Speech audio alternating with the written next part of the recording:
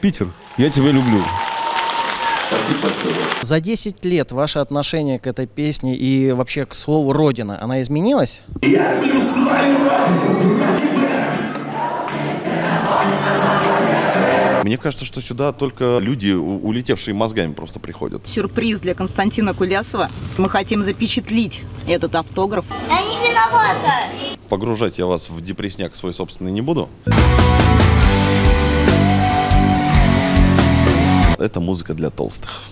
А там уже нет вот этой вот э, глубинной русскости. В гримерке я увидел очень похожего на вас ребенка. Не буду им препятствовать, а буду помогать. Рэпчик читать. Смерть глотает блесну, постепенно глотает блесну. Я внутри своей маленькой жизни прожил несколько жизней.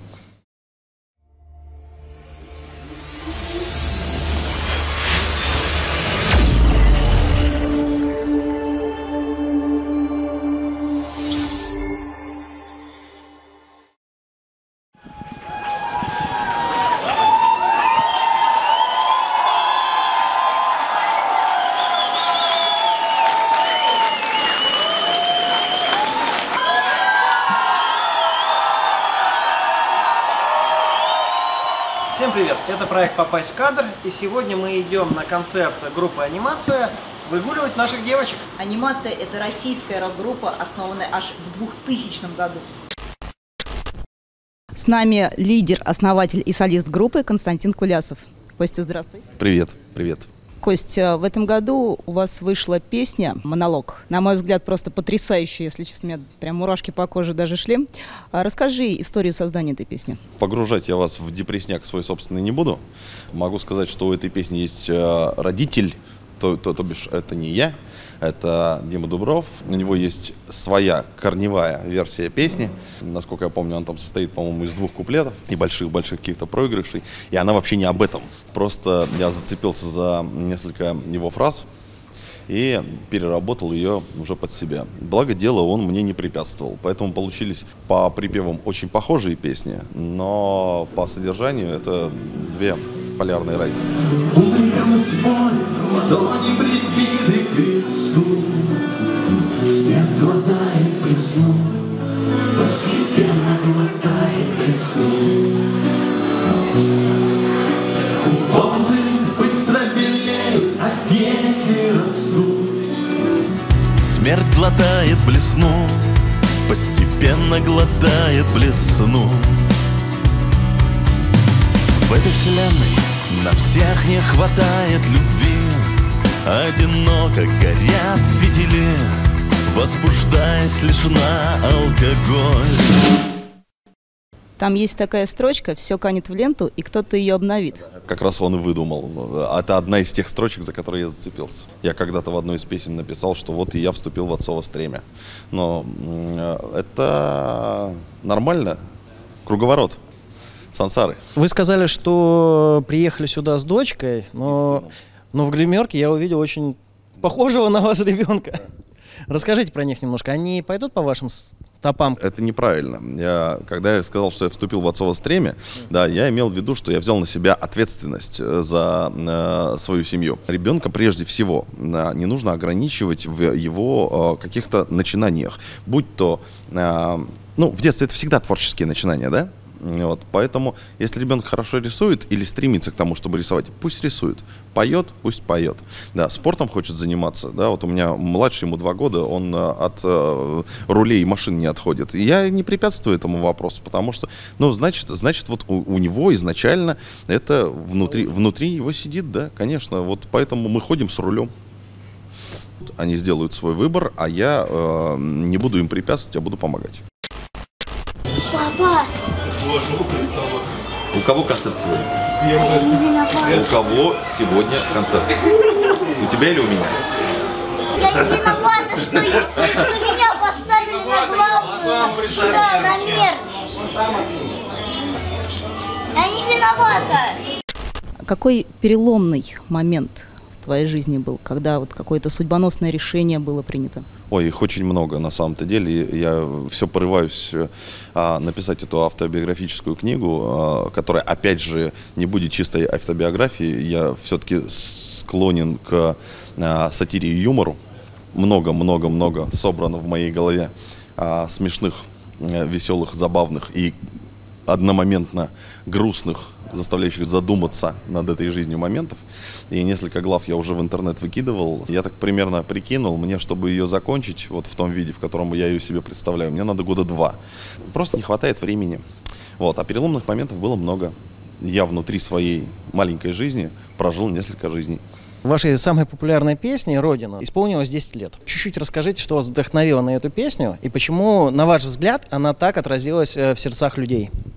Потому что быт определяет сознание. Ну, собственно говоря, я а, жил в а, одном из э, периферийнейших а, городов. Там полностью в постсоветское время разрушена инфраструктура, а очень плохо у людей с работой, там нет а, железных дорог, нет, соответственно, а, аэропортов, и все это удалено, и хорошо, что хоть мост построили, вот, и, наверное, вот это вот все, оно, э, я же там 21 год прожил, оно и сподвигло к написанию не только песни Родина, но и вообще целого пласта песен того э, периода. Почему э, я, опять же, в прошедшем времени об этом говорю? Потому что вот я прям чувствую, я сейчас новый альбом записываю, а там уже нет вот этой вот э, глубинной русскости.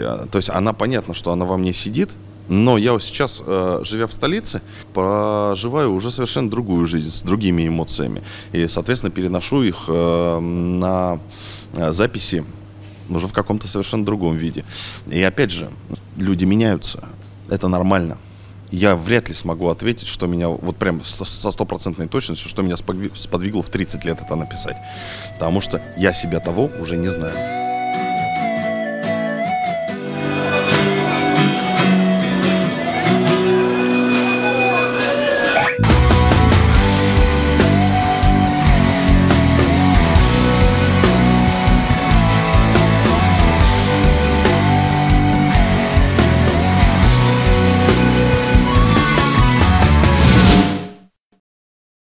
Мы знаем, что у тебя будет скоро первый акустический альбом выйдет. Расскажи, где, когда будет презентация и что нам ожидать? Ну, во-первых, здесь в космонавте точно будет 8 января. И это не акустика, ребята. То есть это только называется акустикой на самом-то деле. Там просто такое необычное звучание. Э, Там а, во всем альбоме записан контрабас, а он уже а, является определяющим инструментом для стилистики этого альбома. Ну, мы впервые в жизни такое делаем. Это для меня это а, ощущение нашего советского прошлого, такой се- 70-й, условные 70-е, где Михалков по метро идет. Вот такая какая-то картинка складывается, таким вот, как я, сделанным в СССР. Да, это прям зайдет. Это музыка для толстых. Но, ну, то есть те, кто уже на танцполе не стоят, да, а вот э, так, м, ну, ну, очень прикольно, мне очень нравится.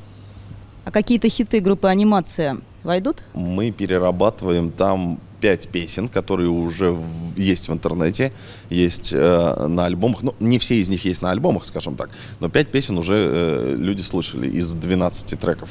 То есть не так много будет нового, но при этом это такие версии, которые ну, нельзя было себе представить а, в электричестве, в классическом.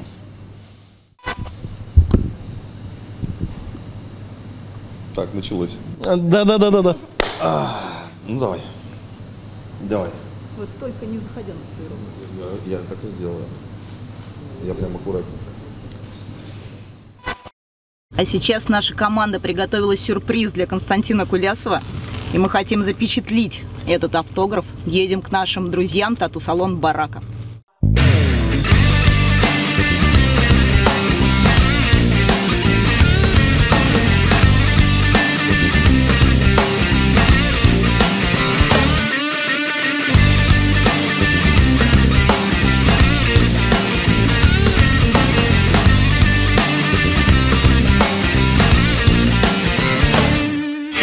Приготовили вам сюрприз.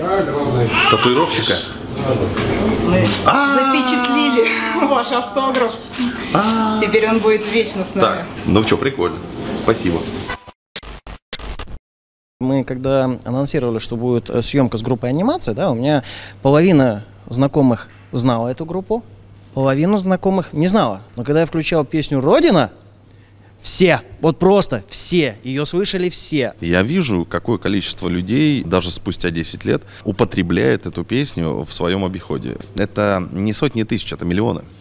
Нет, это миллионы, это сто процентов. Я, я понимаю, я понимаю. Но э, эта песня совершенно не отражает э, того, что мы делаем на сцене, и не погружает человека целиком и полностью э, в наше творчество. Те, кто от одной песни дошел, вот, они как раз попадают в нашу э, добрейшую секту. За 10 лет ваше отношение к этой песне и вообще к слову «Родина», она изменилась? К слову, Родина вообще не, не, не изменилась никаким образом. Я все так же стоек в этом вопросе. И надеюсь, это со мной до конца моих дней. А что касаемо изменилось ли, да, вообще на самом деле э, очень много м, меняется в контекстах. Но она все так же патриотична, она все так же сильна. Я горжусь своей страной на самом-то деле. Можно зайти, там, а, подписаться или просто посмотреть вот так вот стену мою полистать, и можно увидеть, что, что у меня в голове вот сейчас. Вообще, это как книга, ее можно прочитать. Ваш совет э, начинающим музыкантам, как в самое короткое время стать популярным? Понятия не имею, потому что, ну, а, прежде всего, это должен быть фундамент, э, созданный э, в виде а, песенного материала. Но я знаю примеры, где э, этого фундамента просто нет, где люди не умеют играть, не умеют петь, не умеют писать, да, и при этом они популярны. Так что вот в современном мире надо хорошего СММщика, наверное, да, и бабки. И тогда все случится, ребята. Костя, скажи, пожалуйста, а какое, как ты считаешь, продолжение будет у русского рока? А, понять не имею, вообще будет продолжение, нет? Ну, то есть, то есть как бы, а, это же индивидуальные особенности каждого. Вот я вот так услышал музыку в своей жизни, да, и я вот так ее транслирую. Ну, вот, а что там как бы за мной дальше, э, ну, есть же какие-то а, молодые люди, которые берутся за гитары. Это же вообще надо быть дебилом, чтобы в современном мире взяться за гитару. Ну, ну, ну, ну, ну, ну, ну, правда, это надо быть дебилом, потому что это дорого. Ну, то есть, а, э, э, когда я понимаю всех, кто на- начинал в 2000-х э, рэпчик читать, потому что это в производственном цикле, если это можно так назвать, это намного дешевле. Изначально биток, мозги и голос, да? Вот, битбоксеров я понимаю очень хорошо, да, потому что это только твой речевой аппарат. А когда ты берешься за гитару, да, ты должен осознавать, что ты сразу вот, вот со всем вот этим вот оборудованием, да, будешь связан. И это а, огромное количество затрат, а еще это надо записывать, а еще это надо содержать. Мне кажется, что сюда только э, э, люди, улетевшие мозгами просто приходят, доходят вот до этого момента. А вот себя ты кому больше относишь? Ты музыкант, ты певец, ты философ? Я человек. Но прежде всего цель в моей жизни сохранить свою человечность.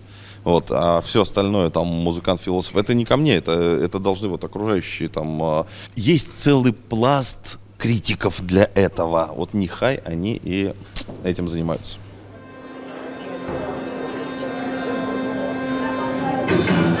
Я люблю свою родину,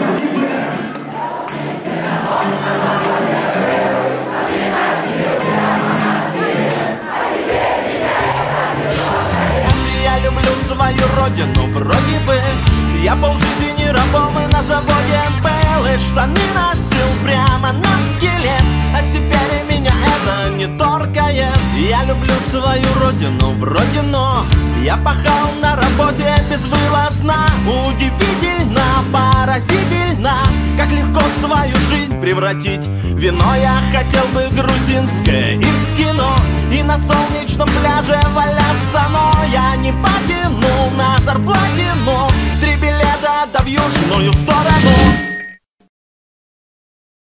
Жаклин, ну вот спустя такое долгое время, после пандемии, я так понимаю, сегодня такой полноценный концерт, где люди танцевали, были не только сидячие места. Вы счастливы, что вы, можно сказать, откатились назад, но получили то, к чему привыкли? Конечно. Вообще концерт, э, публика восхитительна. Концерт прекрасен. И вообще все концерты анимации душевные. Но в Питере это вот душевность, она просто зашкаливает. Поэтому вот море эмоций. Костя очень любит своего зрителя. И все ребята, они вкладываются на 100%. Зрители это чувствуют. Вот эту искренность они отвечают вот такой взаимностью. У нас в планах сейчас около 30-35 концертов. Ну, то есть вы наконец-то полноценной такой вот жизнью живете, можете выступать, взаимодействовать с публикой. Как я понимаю, в обозримом будущем все уже по привычной схеме. Мы старались э, не терять, так скажем, связь с публикой. Все время были где-то в каких-то городах мы играли. Мы всех вас ждем 8 января, также в клубе «Космонавт». Приходите. Вам Обязательно. спасибо, что вы приехали и были с нами, работали такой слаженной командой. Друзья, подписывайтесь на наш канал, ставьте лайки и слушайте русский рок. Крутой концерт. Питер просто мой любимый город. Я давно влюбился в него. Это просто вау. Ну, концерт, конечно, бомбический. Я чуть не умер на сцене. Питер. Питер. Куда? Туда, сюда, сюда. Питер. Я тебя люблю. Спасибо большое.